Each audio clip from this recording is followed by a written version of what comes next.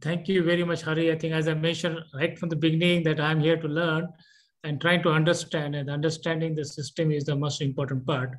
I can only share because my now my I'm living in Singapore for more than 25 years. We use tap water for drinking for all the time. Okay, so I agree with uh, Kumar Gupta ji that Chit Kumar Gupta ji that uh, municipality has their role. I think otherwise they are shirking their role. They must be made accountable. No doubt on that. There is that has to be there.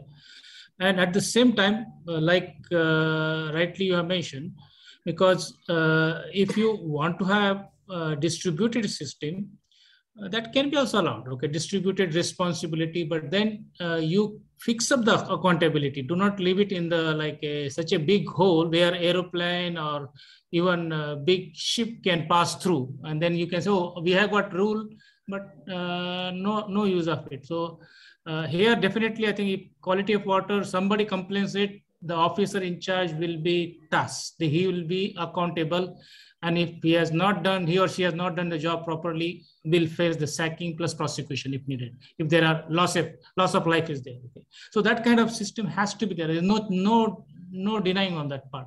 And why it is happening is I think earlier you asked this question.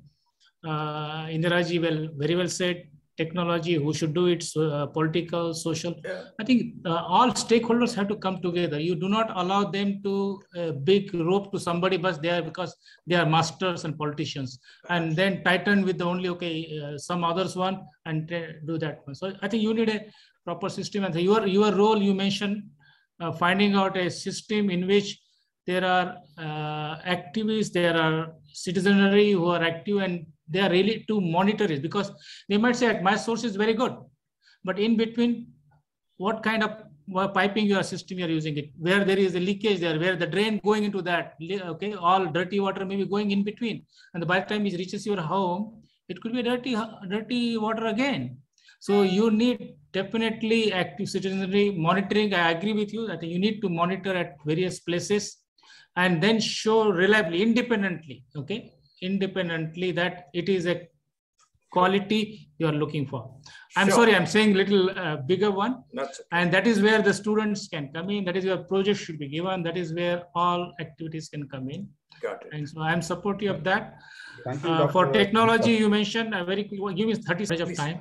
Technology innovations we have to allow. Now, there are two aspects. If it is a public good, public interest, then government must be accountable. They are the one who are accountable business people are not accountable. They'll just show, they'll say, I bankrupt, go away. So whatever it is, public interest, water, public interest, energy, public interest, food, public interest, strong regulation, monitoring has to be there. So government can't shirk away, okay? They can't say, okay?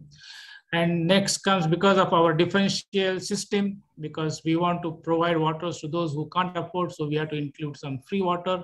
And that is where the leakages come in. So I know that is the long one I said.